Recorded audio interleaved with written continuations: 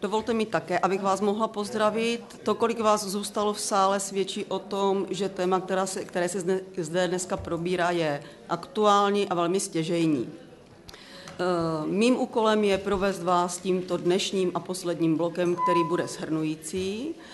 Eh, možná ještě malé představení. Mé jméno je Ivana Nesétová a zastupuji zde centrum a my už víc než 10 let děláme v reálu sociální bydlení. Děkuji. Eh, slyšeli jsme od rána mnoho informací, mnoho názorů, mnoho příkladů dobré praxe, jak přímo z České republiky, z našich měst, tak samozřejmě ze zahraničí. Všechno to, co jsme slyšeli, je velmi inspirující. Velmi dobré je, že všichni bereme informace, které tady zazněly, jakože nejsou dogma, jsou to alternativní návrhy, jak by se situace dala řešit. Eh, zde vedle mě jsou Nora Teller, eh, Gerd Šimégy a ti nám zhrnou závěry diskuze. Dále tady mám Volkra Buše, Gercema, který zhrne strategické závěry celé naší diskuze. Nemohu opomenout Štěpána Rybku, který nám nastíní proveditelnost závěru v České republice. A nedílnou součástí tohoto našeho bloku je i účast a zástupců z ministerstva pro, pardon, ministerstvo pro místní rozvoj mi zrovna chybí, ale ministerstva práce a sociálních věcí. Zde mám pana ředitele odboru sociálních věcí Davida Pospíšila, kterého vítám. Samozřejmě dále je to náměstkyně ministra pro lidská práva a legislativu Kateřina Valachová. Také dobrý den. Takže já bych poprosila Noru Teller a Děrdě Šimegiho, aby přednesli svůj příspěvek. Okay, um, so we agreed with Judy that I'm going to speak also for him, if you allow. Um, the, the, discussions were quite vivid, so thanks again uh, for the audience and, and also for the uh, panelists. Um, I think it became quite clear that the target group um, of whom we are talking about here, uh, who should be primarily also targeted by, this, by the um, social housing policy under development, uh, is, is really diversified. Um, we can we can uh, we could see it, and this was your, in in your interventions. For example, how um, how different potentials uh, people might have in the labor market uh, and this should not be underestimated. So, um, so sometimes there is uh, very little to be added um, uh, to be helped so that they, uh, people can really sustain themselves um, in terms of um, um, regular incomes. The second big point, I think, which was uh, important and put here in the room, is that there, uh, there are issues with the communication and cooperation between the, the different players uh, like the NGOs who are there, uh, very, playing a very important role in service provision, in, for example, in social service provision. Um, um, the, the, other player, which is crucial uh, to uh, to function uh, well, are the housing providers. Many times, the private housing providers, who currently have um, a great financial interest in, in maintaining the status quo, uh, for example, in the case of, of ubytovania. So uh, there is an interest which should be addressed. And the third player, which should be more incorporated in, in the cooperation schemes and communication, the, is the local administration. Um, and this is crucial because of this decentralized nature uh, of social housing provision and service provision in general. And, the, and if I may add the, the third, uh, the, the last point, which came uh, up in the discussions, is that, um, uh, of course, many other issues were also mentioned, um, is that the state should be uh, taking much more responsibility in, in, in tackling housing exclusion issues, uh, also of Roma. Uh, it should be made clear that, that this is a problem which is typically unmanageable at the micro level. So this is, there is no micromanagement skills that are lacking. This is the political commitment at the large scale, which should be much uh, stronger. Uh, and this could ensure um, uh, the complexity and also the continuity uh, of the interventions. Uh, so that uh, conditions could be achieved where there is a choice for, for uh, the families and the households coming from such vulnerable and excluded situations. So I hope that I sort of mirrored what was uh, told here in the room. Um, and thanks for the opportunity to listen to this conversation. I'm supposed to uh, to speak about the policy conclusions. Uh, I might be biased. Um, I think there were quite a lot of consensuses uh, about that homelessness should be prevented, housing exclusion should be prevented, that structural issues have to be tackled, like access to housing, uh, especially for the Roma and for other excluded group, like the exclu- exclusion from employment, like infra- infrastructural problems, which are very important, especially when people live uh, on the margins uh, or even further away from uh, from cities. Uh, I think, uh, despite the little discussions about what housing first uh, really means, there is a consensus that housing-led approaches uh, are a better option than uh, hostels and temporary accommodation and uh, extending that sector.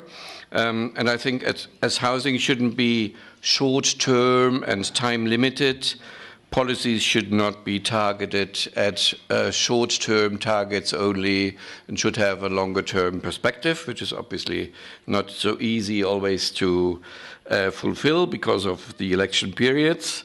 But we have seen a number of projects which were not sustainable. We have seen um, examples of things which were tested for half a year and then people went back, um, uh, or for three years, and then suddenly people went back to the to the camps and so on. Uh, I think that's something which I would call projectitis, uh, something which uh, which you find uh, all over the place, uh, especially if European money is, is invested.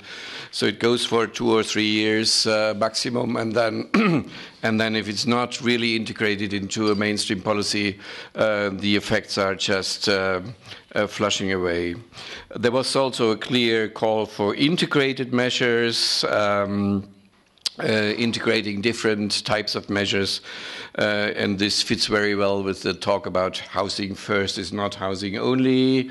Uh, the idea of providing people, all people in need, with access to housing doesn't mean that they should only have access to housing and to nothing else.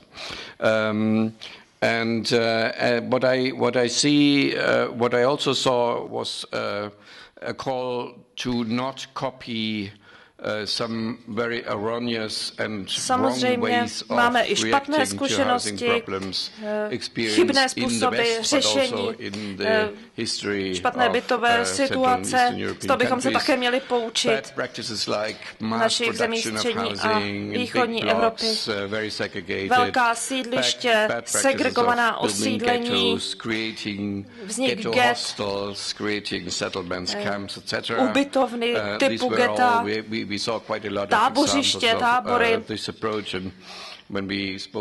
To jsou příklady když jsme hovořili s panem Špidlou, s panem doktorem Špidlou, říkal, že důležité stanovit si také to, co opravdu nechceme, aby vznikl koncenzus ohledně toho, co chceme. Mluvili jsme o schodišťovém přístupu, ty, tyto přístupy jsou nákladné a nefungují. dobře. Mnoho lidí tento systém není schopno opustit housing market Uh, which is very expensive. Protože uh, udržování sekundárního bytového trhu je velice uh, nákladné. Často jsme říkali také, Uh, send že mluvíme o opatřeních pro našich uh, chudých, o vašich uh, chudých, something, tom, že chudé vyšleme ven či pryč. to come to their municipalities, which brings us to the need that central government is reacting against um, this, aby na to uh, reagovala uh, i ústřední uh, vláda and, ve svých politikách, aby bylo zajištěno správné rozložení služeb, včetně přístupu k bydlení v celém státě, nejen v některých místech. To je samozřejmě úkol pro ústřední vládu. To nelze vyřešit na komunální úrovni. Samozřejmě Nicméně komunální politika je velice um, důležitá. Na komunální uh, úrovni se opatření uh, uplatňují, často chybí politická vůle právě na komunální úrovni. Um, a v jednom z prvních příspěvků dnes dopoledne jsme slyšeli o potřebě vzdělávat uh, komunální politiky, aby zajišťovali přístup k um, bydlení pro všechny.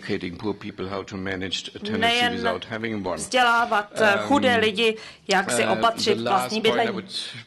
A poslední věc, nebo jedna z posledních věcí, o které bych se rád zmínil, je otázka, jak rozšířit přístup bydlení. Mluvili jsme o celé řadě různých opatření.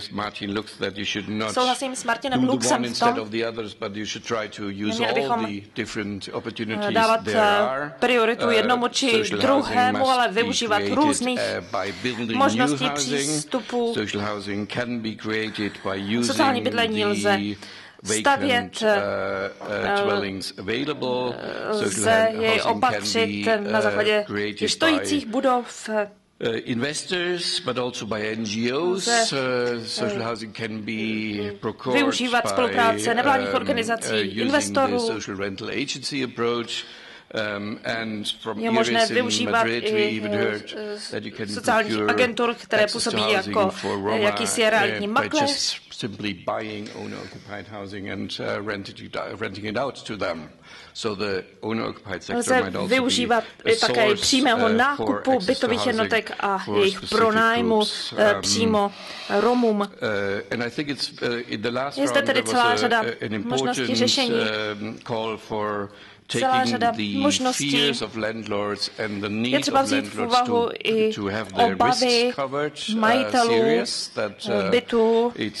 Toto je třeba brát vážně vzít v úvahu rizika, pokud existují.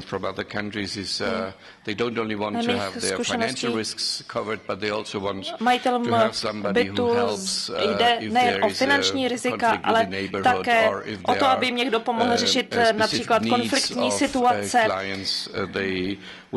nebo jednat s někým, kdo má specifické potřeby. To je také další požadavek, na který by se budoucí politiky měly zaměřit. Takže tolik mým závěrům ohledně politických eh, závěrů. Děkuji. Tak já velmi děkuji Volkru Bušovi za jeho příspěvek a poprosila bych pana Rybku, aby byl tak hodný a završil toto shrnovací téma. Určitě děkuji. Eh, já eh, děkuji za slovo a současně děkuji všem, kteří tady zůstali a také oběma eh, zástupcům dvou rezortů, eh, kteří přišli, eh, protože to určitě pro ně není jednoduché v jejich nabitém, nabitém kalendáři. Um, Uh, mé závěry by měly schrnout, jak tedy přeložit ty politické a strategické závěry teď do tvorby politik v naší, v naší aktuální situaci v České republice. Je jasné, že dnešní workshop uh, sám o sobě uh, řeší podle, uh, pouze malou část, to znamená nějaký výsek diskuze, housing first, housing ready, Romové. Uh, a, ale uh, my potřebujeme systémový přístup uh, a potřebujeme dlouhodobý závazek státu, uh, který právě spatřuje v zákoně o sociálním bydlení. Uh, Potřebujeme takhle lepší koordinaci mezi jednotlivými rezorty. Eh, myslím, že eh, eh, i na těch případech, které jsme si dneska ukazovali, to bylo vidět, a zvláště mezi infrastrukturou a službami. Pokud o sociálním bydlení uvažujeme jako o samostatném bydlení v bytech s podpůrnými službami, tak opravdu eh, na úrovni těch rezortů a na úrovni operačních programů, eh, ale i na úrovni expertízy eh, technických oborů a sociálních oborů potřebujeme daleko více propojovat. Dnes tu chyběli dva velmi důležití aktéři. Jedním z nich jsou samozprávy. Měli jsme tu zástupce Svaze města obcí, ale chyběla nám větší účast samozpráv. To samozřejmě souvisí s komunálními volbami, ale to beru jako závazek i pro další akce platformy do budoucna, že až to bude možné, to znamená, až, až komunální politici budou mít trochu více času, tak je znovu začneme zahrnovat do našich akcí, do našich diskuzí, do, do činnosti. Chyběly tu dnes také banky, chyběly tu stavitelé a možná i architekti a, a, a um, urbanisté, tak se tomu říká. um, potom uh, bych rád řekl, že uh, z dnešních uh, da, da, další závěr je, že uh, potřebujeme uh, různé modely a potřebujeme velmi seriózně testovat. Nestačí nějaké roztroušené projektíky z evropských fondů, které jsou velmi nahodilé, ale opravdu potřebujeme rozpracovat jednotlivé možnosti a jít do nich a evaluovat výsledky a pak se z těch evaluací poučit a, a, a, a ty, to, to, co se daří, z toho dělat tu mainstreamovou politiku. Nakonec bych ještě schrnul návrh, se kterým přichází platforma a který si myslíme, že by mohl překlenout tu diskuzi o sociálním bydlením pro všechny, kromě některých a speciálním sektoru jiného bydlení nebo ubytování pro některé. Myslíme si, že cílová skupina toho zákona o sociálním bydlení a koncepce sociálního bydlení by měla být definována na základě bytové nouze, která je operacionalizována skrze evropskou typologii ETOS, to je typologie bezdomovectví. Vedle toho by ta cílová skupina měla obsahovat lidi, kteří vynakládají na bydlení nepřiměřeně vysokou část svých příjmů. Tam je to potřeba modelovat, v tuto chvíli navrhujeme 40% aby byla osoba součástí té cílové skupiny, nemusí být obě situace naplněny současně. Prostě může to být buď a nebo. A, a samozřejmě, pokud někdo je schopen, se tam vejde, ale je schopen svoji bytovou situaci vyřešit sám, tak nemusí mít nárok na sociální bydlení. Navrhujeme tuto obecnou definici a na základě skotského příkladu víme, že je možné kontrolovat dopad na potenciálně diskriminované skupiny u vstupu a výstupu toho sociálního bydlení. Ještě se to zde v České republice neskoušelo, je to dlouhá cesta, ale ve Skotsku to umějí. A, já mm, tím asi nyní skončím a kdybych se už pak nedostal ke slovu, tak vám všem moc děkuji, že jste dnes přišli. Jsem opravdu potěšen to účastí a rozmanitostí publika i mluvčích a předávám slovo dále.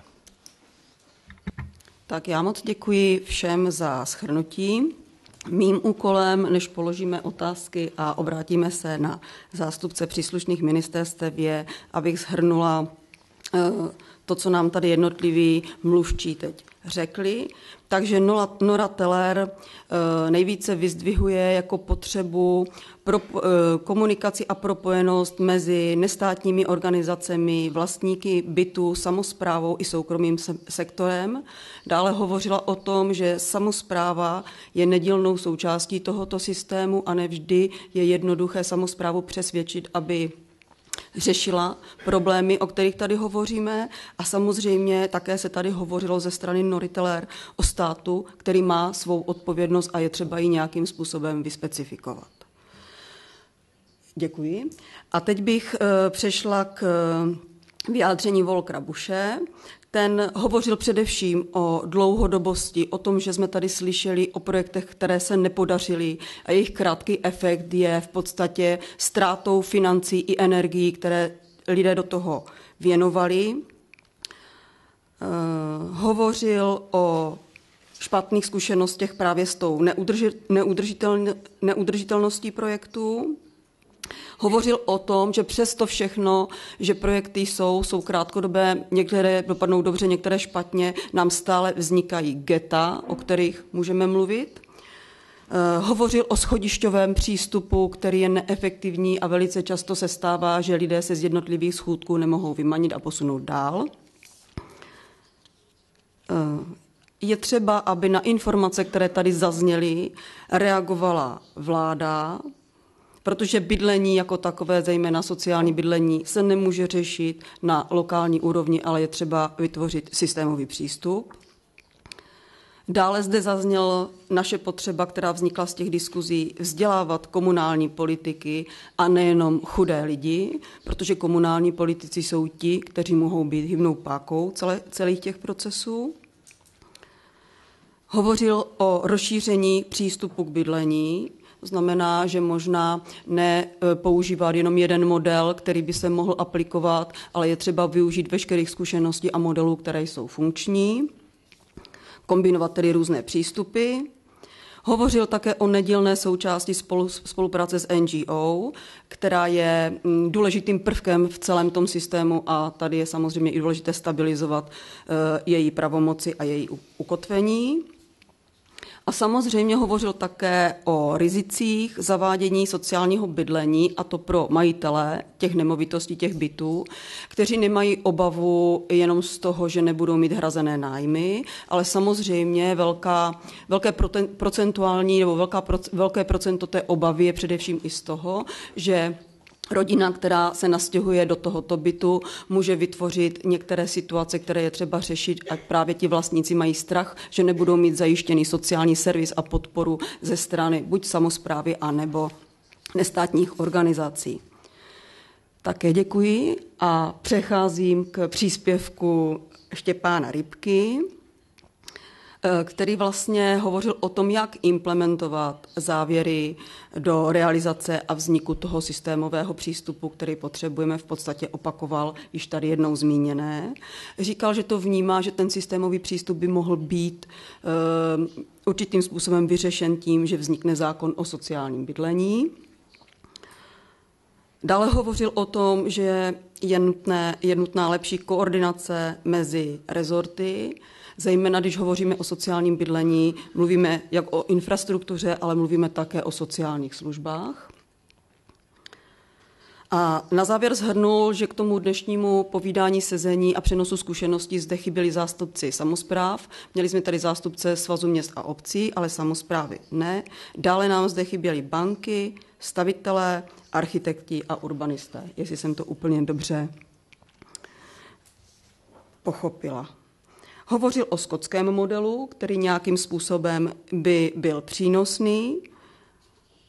Eh, dále hovořil o tom, že potřebujeme ne krátkodobé projekty, ale potřebujeme modely a možnosti, jak tyto modely evaluovat, abychom s nich mohli právě vytvořit podklady pro ty systémové přístupy.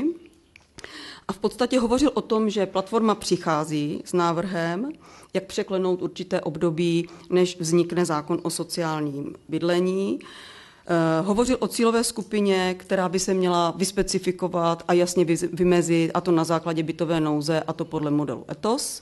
A dále hovořil o tom, že by to mělo být i návazné, nebo měla by tato možnost sociálního bydlení být poskytnuta i lidem, kteří na to bydlení eh, vynakládají nepřiměřeně vysokou částku ze svých příjmů a určoval 40% Pokud jsem nebyla úplně přesná, tak prosím o opravu.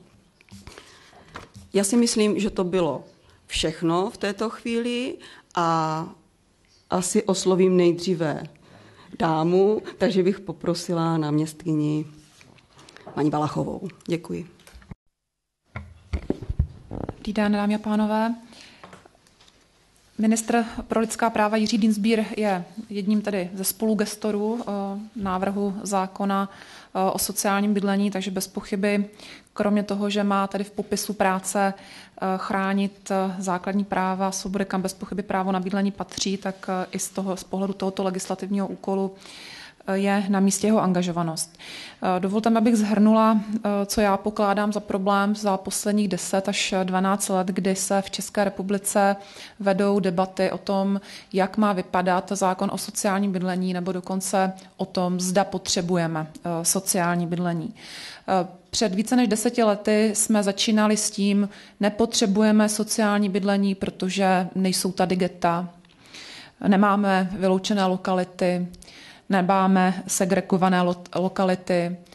Ani ve snu nás upřímně řečeno nenapadlo, že bychom vůbec mohli mít něco, co máme dnes, to znamená podstandardní, nedůstojné a předražené eh, ubytovací zařízení, v nichž žijí dlouhodobě eh, rodiny, rodiny s dětmi anebo seniori, pro které neexistuje eh, jiná alternativa.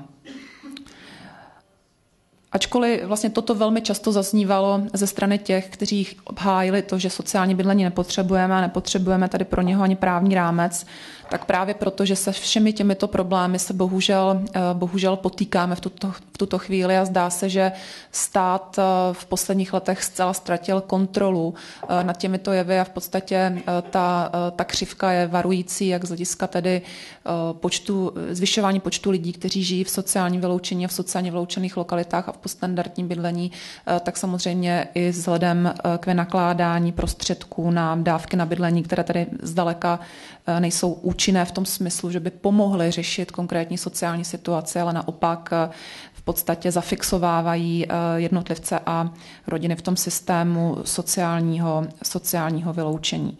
Není tady pochyb podle mého soudu z hlediska práva o tom, že sociální bydlení má preventivní charakter, a že mít sociální bydlení znamená zastavit eh, sociální vyloučení dalších a dalších skupin, které dříve eh, problémy, problémy neměly. A také to podle mě znamená, že bez sociálního bydlení nelze stávající situaci zlepšit. Také se více než deset let eh, vedly spory o to, zda řešit situaci z hlediska dostupnosti bydlení tržními nástroji nebo zvýšenou regulací, to znamená tady zejména eh, striktními pravidly v rámci zákona o sociálním bydlení. Domnívám se, že eh, odpověď je jednoduchá, pravda je někde eh, uprostřed. Bez pochyby v tuto chvíli máme jako exekutiva a vláda dost informací o tom, jaké nástroje existují, z hlediska eh, tržních eh, možností, to znamená různé způsoby, tady zejména financování bydlení, eh, nebo vyšší zapojení nebo motivace soukromých vlastníků z hlediska tady mm, zajišťování bydlení určitým cílovým skupinám, tak bez pochyby je na místě, že potřebujeme větší regulaci, zejména z hlediska jasného stanovení povinností podle zákona směrem ke státu, z hlediska sociálního bydlení směrem k obcím a samozřejmě eh, z hlediska nárokovosti tohoto sociálního bydlení i k samotným jednotlivcům či rodinám, které toto bydlení eh, budou, eh, budou, budou, budou nárokovat. Bez pochyby cílem spojení těchto tržních a regulačních nástrojů, nástrojů je to, aby bydlení bylo dostupné. Teď tedy nemyslím jenom sociální bydlení, ale zkrátka nějaké bydlení pro každého jednotlivce eh, bylo dostupné. Hlavním motem dnešního eh, semináře byla teda, byly dilemata housing, housing First a Housing Ready.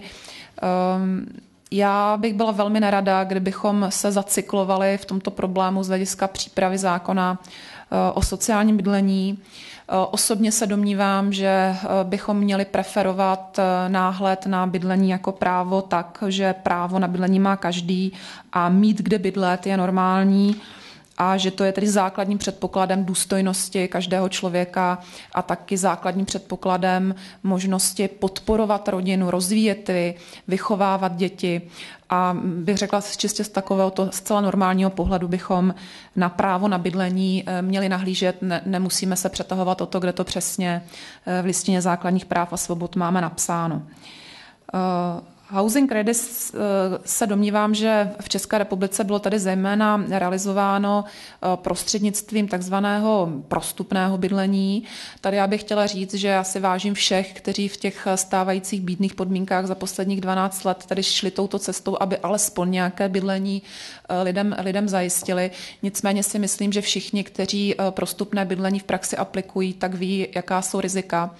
To znamená, že velmi často skutečně lidé, ačkoliv plní si veškeré své eh, občanské, eh, občanské povinnosti, tak eh, uvíznou na některých těch stupních a z nepochopitelných důvodů třeba i bydlení po řadě, řadě let ztrácí a nejsou schopni se dostat do normálního řádného bydlení a že tedy tento systém má své, své, své limity. Osobně si myslím, že v rámci zákona o sociálním bydlení bychom měli respektovat princip housing first. S tím, že otázka, bych řekla, zásluhovosti bydlení by měla být velmi citlivě, eh, citlivě debatována. Myslím si, že není, zcela, není na místě eh, realizovat právo, eh, právo na bydlení jako nějakou, nějakou odměnu. Eh, domnívám se, že, že otázka eh, zásluhovosti nebo dejme tomu eh, plnění určitých povinností dalších, abych mohla bydlet, je na místě možná v situaci krizového bydlení, kde se v podstatě už ten jednotlivec nachází v nějaké patologické situaci. Není to však standardní přístup z hlediska tedy všech ostatních, kteří jak se netrpí žádnou patologii nebo nedopustili se, dejme tomu, nějakého kriminálního jednání, které by Eh, mohlo odůvodňovat nějaké zvýšené režimování v realizaci, realizaci práva na bydlení, ale jedná se pouze o jednotlivce či rodiny, které, kteří jsou zkrátka v těžké životní situaci, ty objektivní a eh, kde je zcela na místě eh, konstruovat právo v zásadě jako nárok. V minulosti také jsme se velmi často v těch debatách zacyklili v případě standardů bydlení. To znamená, zda sociální bydlení má mít teda nějak, nějakou nižší kvalitu. V zásadě to bylo hodně, eh, hodně spojeno s populismem, eh, zejména tedy eh, některých regionálních politiků, kdy se zdálo, že je pro tu většinovou společnost nepřijatelné si představit, že lidé, kteří jsou ohrožení, mají právo na bydlení ve stejné kvalitě jako oni, kteří tedy měli to štěstí a v takovém ohrožení se neocitli a mm, vlastně byla přivyživována u té většinové společnosti ta představa, že, že, že tady právě ti, co v tom ohrožení jsou, si to musí nějak zvláštně zasloužit a pokud se to zaslouží nebo nezaslouží, tak či tak by tady měli mít nějaké méně dobré bydlení, než teda ti ostatní v uvozovkách eh, normální. Eh, já se osobně domývám, že standard sociálního bydlení by měl být zcela běžný, to znamená tak, jako máme zavedený v České republice. Eh, můžeme se bavit o tom, že vybavenost vybavenost těchto bytů bude nižší. Eh, to znamená, představte si, že tam tady budou linole, budou tam jednoduché kuchyňské linky, dejme tomu, budou tam nějak mírně snížené standardy týkající se třeba například energetické náročnosti nebo, nebo slunečnosti těchto bytů a podobně. Nicméně, nicméně nelze si představit nějaké významné snížení standardu, pokud se to netýká vybavenosti nebo, jak jsem řekla, nějakého mírného nižšího standardu energetické náročnosti. O, u Nižší standard bydlení se podle mého soudu zase dá představit tady mimo sociální bydlení v rámci krizového bydlení, kde upřímně řečeno v případě eh, takto ohrožených lidí řešíme trochu něco jiného, než je standard bytu. Eh, jsou to lidé, tedy, kterým, kterým jde v zásadě, eh, v zásadě o život a tady je na místě jako krizově jim bydlení zajistit a následně s nimi dále pracovat. Nicméně takovéto krizové bydlení by nemělo být pokládáno za bydlení ve smyslu sociálního bydlení a práva na bydlení. Eh, na závěr bych chtěla říct, že samozřejmě alfa omega eh, je financování bydlení, protože obce se velmi, velmi razantně brání eh, povinnosti, která, které by měly v této oblasti zajištění bydlení svým občanům s odkazem na to, že tedy, eh, nebo takto s odkazem na to, že bez financování, bez zajištění financování z té přímé centrální úrovně eh, nechtějí a nebo, nebo nejsou schopny eh, tuto povinnost přijmout. Tady bych do určité míry byla schovývavá, ono se potom také ukáže, do jaké míry to takzvané, takzvané pochybnosti s, s ufinancováním to, těchto nových povinností jsou pouhou zámínkou anebo skutečně reálnou obavou, protože z hlediska práva na samozprávu bez pochyby, pokud stát uloží obcím v rámci samostatné působnosti výkon těchto, těchto povinností souvisejících se zajištěním sociálního bydlení, musí taky zajistit financování, je to tak i ve všech ostatních případech a domnívám se tedy, že samozřejmě návrh zákona o sociálním bydlení musí na toto pamatovat. Domnívám se, že v tuto chvíli existují možnosti, jakým způsobem toho, toho dosáhnout. Můžeme se zamýšlet nad tím, že by například část DPH v rámci, v rámci tedy výstavby nových bytů byla směřována směrem například ke státnímu fondu rozvoje bydlení. Můžeme se bavit o tom, že by byl upraven zákon o rozpočtovém určení daní z hlediska samozpráv. Můžeme se také bavit o tom, že samozřejmě pokud by obce získaly tuto povinnost, také by jejím směrem mířily eh, víceméně exkluzivně nebo do jisté míry exkluzivně eh, peníze v tuto chvíli vynakládané na dávky, na dávky na bydlení, které víme, že jsou, že jsou nadstandardní, takže pokud by zároveň byl korigováno nájemné do eh, úrovně přiměřeného zisku, bez pochyby by vznikl nějaký převis, který by se mohl účelově, zejména při začátku účinnosti tohoto zákona, účelově směřovat na podporu sociálního bydlení do obcí. Bez pochyby také na místě pracovat tržními nástroji z hlediska například různého uvěrování, uvěrování směrem k výstavbě či k rekonstrukci eh, sociálního bydlení. Tady bych zejména odkázala na kolegu Martina Luxe, který to už před několika lety možnosti financování eh, dostupného bydlení, sociálního bydlení zpracoval.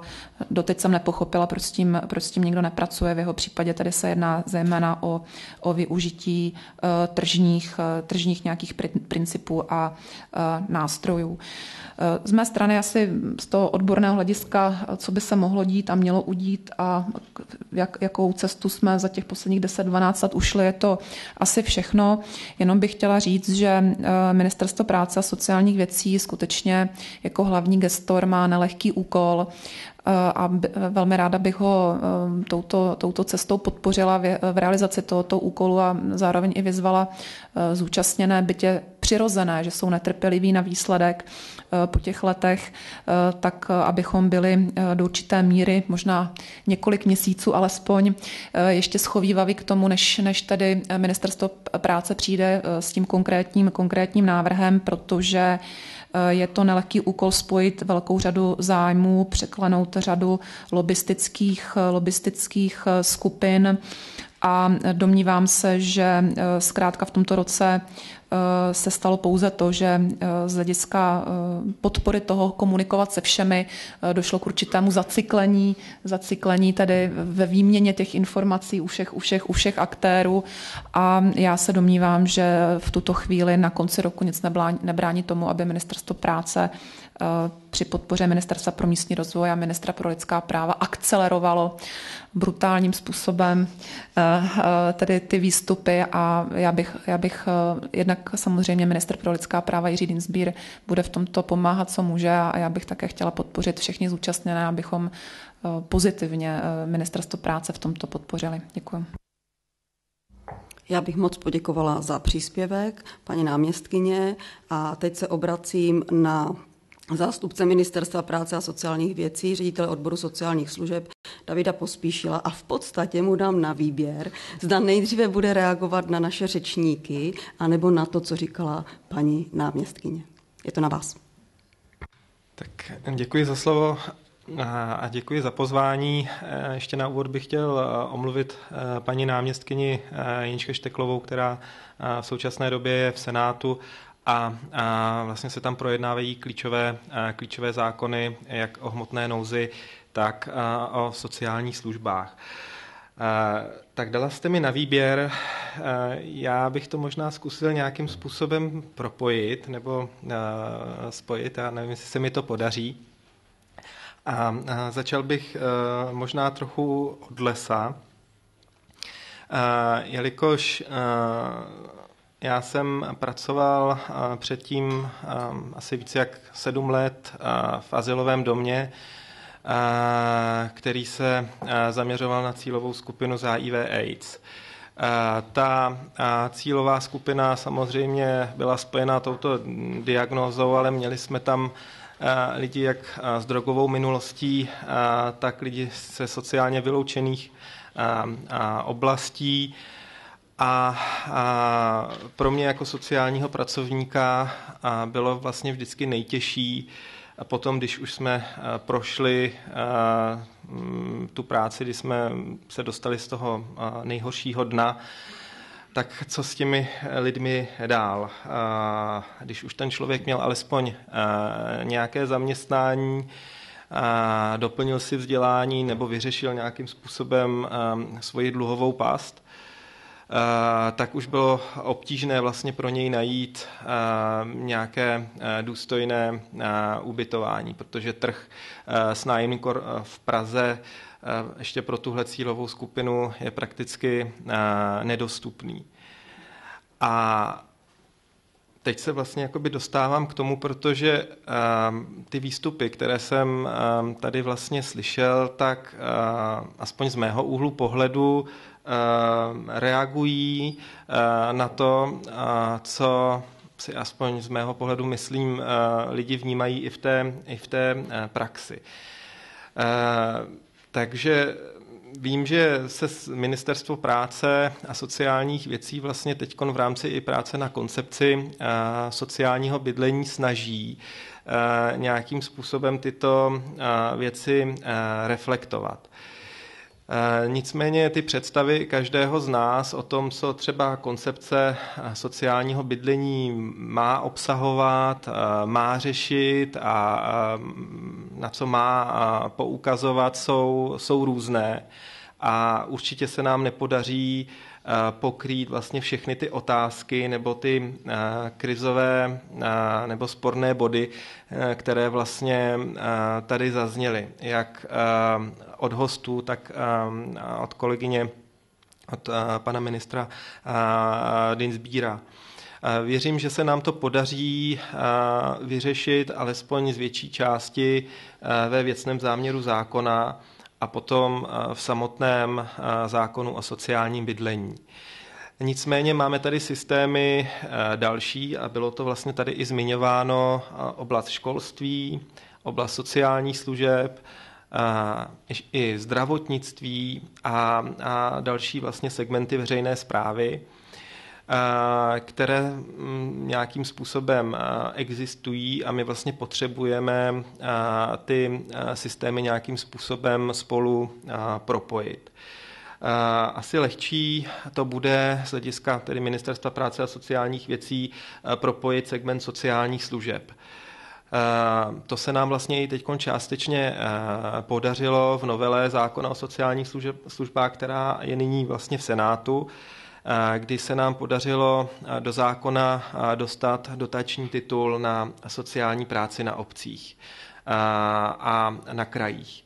Protože sociální pracovníci na těchto úrovních prakticky vymizeli, a když už tam jsou, tak maximálně řeší pouze jenom dávkové systémy. Už nikdo neřeší komplexní práci s klientem, navázání spolupráce s místníma municipalitama nebo s neziskovým sektorem. Takže eh, já věřím, že se nám i eh, podaří získat dostatek finančních prostředků z ministerstva eh, financí právě na tento dotační titul, který by mohl pomoct a právě i v oblasti sociálního bydlení a sociálních služeb. Provázanosti mezi, mezi, mezi těmito dvěmi oblastmi. Finanční nástroje vlastně tady byly taky několikrát zmíněny. My ve spolupráci s Ministerstvem pro, místním, eh, s Ministerstvem pro místní rozvoj i ve spolupráci právě tady eh, eh, s paní náměstkyní Valachovou a vlastně s, s, s úřadem pod panem ministrem Dinsbírem spolupracujeme nad nastavením investičních nástrojů z regionálního operačního programu v novém programovacím období to myslím, že se velmi jakoby pozitivně eh, posunulo a velmi rychle jsme dokázali vlastně zareagovat i na dokumenty, které už byly, eh, byly nějakým způsobem eh, vytvořeny a právě dostatečně nereagovali na, na ten posun v té oblasti sociálního bydlení. Já, takže já věřím, že ty finanční nástroje v, to, v té druhé polovině příštího roku a, budou dostupné zejména a, pro obce, takže už se nebudou moci tak lehce vymlouvat, že nebudou mít a, dostatečné finanční nástroje, ale samozřejmě to je krátkodobý nástroj jenom po dobu toho programovacího období. A potom určitě musí přijít, nebo ještě předtím, ale uh, současně musí přijít i systémové opatření, právě to, co tady zmínila paní náměstkyně Valachová. A možná jste ještě zaznamenali včera večer a dnes dopoledne zprávu z České biskupské konference, která se nechala slyšet, že církev a církevní organizace budou dávat investiční finanční prostředky právě z výnosu nebo z prostředků, které získají v rámci restitučních nároků což eh, z naší pozice velmi eh, pozitivně eh, jakoby hodnotíme, protože pokud se dohodneme na systémovém přístupu, tak bude další jakoby finanční nástroj pro řešení této situace a vlastně prakticky velmi, velmi rychle. Tak už jsem slyšel, že mám velmi, velmi málo času. Já bych chtěl jenom ještě na závěr zmínit, že eh, pro nás třeba i výstupy v rámci platformy pro eh, sociální bydlení i z jejich pozičního dokumentu nám velmi pomohl pro přípravu koncepce sociálního bydlení. Například cílová skupina, která tady byla zmíněna. A v současné době na ní v celku, aspoň na té elementární úrovni, konsenzus. Takže já věřím, že ta spolupráce jak mezirezortní, která teď velmi funguje, nebo funguje velmi, velmi dobře, tak bude fungovat i s neziskovým sektorem. A, a myslím, že máme teď vlastně jako velmi dobře našlápnuto na to, že už se jenom od těch planých slibů a, a hovorů o sociálním bydlení dostáváme k tomu, že eh, tady bude doopravdy něco na stole. A ten zákon, který by měl být, možná nebude úplně uh, uh, perfektní, ale uh, bude alespoň nějaký a já věřím, že i za působnosti toho zákona budeme odhalovat v průběhu uh, nějaké hm, problémy, které vzniknou, protože nelze myslet v tak široké oblasti doopravdy na všechno a že se nám to společně tedy podaří dotáhnout, dotáhnout do konce.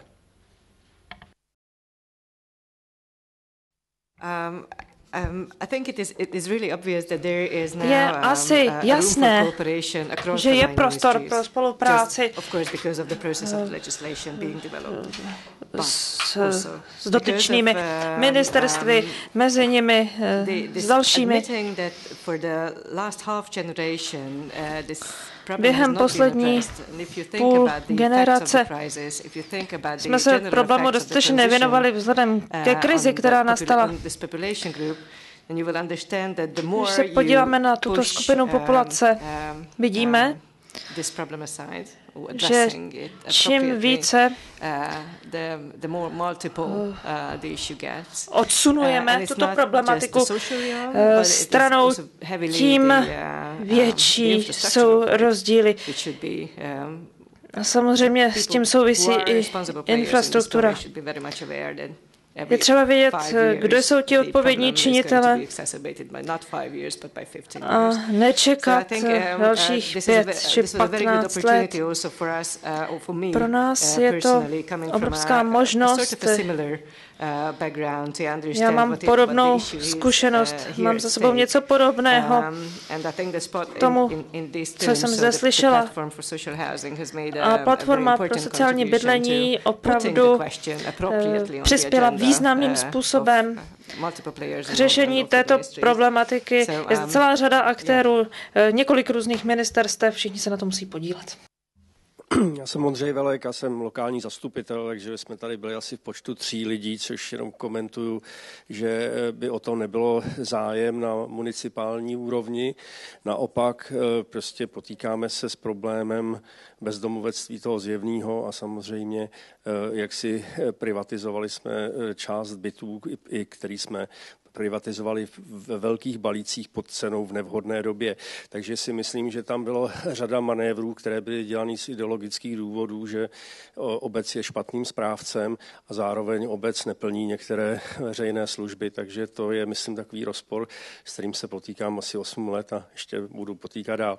Ale chtěl jsem teďka upozornit na jednu věc. Jedna věc, že tady byl takový jako lobbying, čekání na zákon a právě v tomto okamžiku se formují koalice a mohu říct, že Eh, po, zkušenostech programová prohlášení těch koalic jsou často naprosto, naprosto blábolem, eh, bez měřitelných indikátorů a jsou to taková slohová cvičení z předvolebních slibů a nemají, eh, nejdou vyhodnotit eh, následně v nějakých těch pololetních zprávách rady. Takže bych doporučoval, aby teď 14 dní, dokud nebudou první zastupitelstva, se odborníci, jako jste vy, podívali na, abych řekl, z hora dolů od hlavního města Prahy, kde snad se formuje koalice slušná, tak prostě i na nás, malé radnice, a pokusili se se tam dostat eh, eh, minimálně procesy, eh, které by mohly vést k vytvoření jednoho, dvou, tří, pěti míst. Například my máme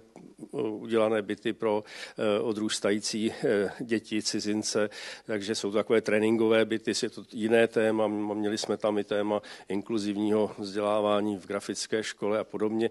Je tam řada témat, které jsou z vaší branže a samozřejmě už na Smíchově už nemáme mnoho Rómů, protože už jsou ve Šluknovském výběžku, takže eh, to si myslím je, je prostě eh, věc, která přesto tam máme mnoho drogově závislých a někdy v různých synergiích. Takže si myslím, že teď je 14 dní, které můžete o nás přátelných radnicích využít tomu, že opravdu eh, se pokusíte ty univerzální programová prohlášení rady změnit do akčních programů, kde to budou jasné indikátory úspěšnosti. Tak, já do toho v této chvíli stoupím. Já moc děkuji za příspěvek. Takže to vlastně nebyla otázka, ale byl to návrh nějaké spolupráce. Moc děkujeme.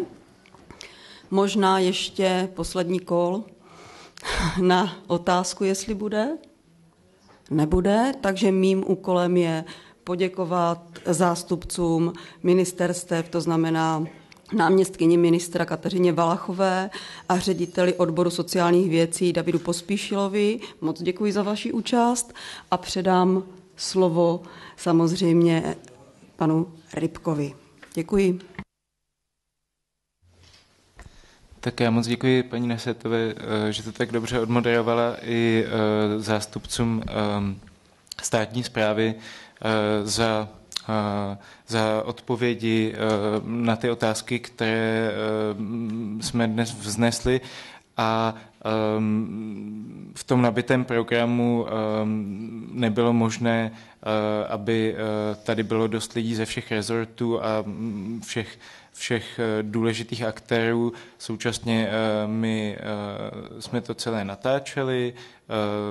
Nahrávku z tohoto dne umístíme na YouTube platformy a, a na naše stránky a výstupy z této konference budeme dávat do sborníku, který pak budeme distribuovat samozřejmě také veřejné zprávy, ale všem dalším důležitým aktérům.